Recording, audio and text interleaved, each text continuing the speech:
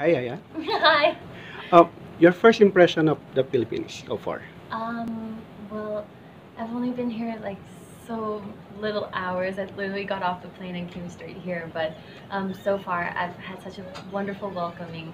Uh, I had such lovely fans at the airport who were there to greet me, and that, that was such a pleasant surprise. And I'm very excited to look around. I'm here for a few days, so Were you surprised with the reception you received from your fans? Um, yes, it was quite early, and uh, well, all my stuff that I that I actually do do is all in Thai. So I'm very happy that um, we've been able to reach uh, to people here. Uh, what can uh, what, what can your Filipino fans expect from you here? Here, um, well, I don't know in particular. There's no projects um, to date yet, but um, like we are here today, we're with TAT, and that's definitely an ongoing project. Would you be open to do a movie project? Of course.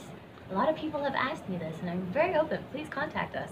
What kind of movie do you see doing here in the Philippines? Are you into action, drama, comedy? Um, I'm very diverse myself. I can do a few things. And what's your message for your Filipino fans? um, well, thank you so much for all the support.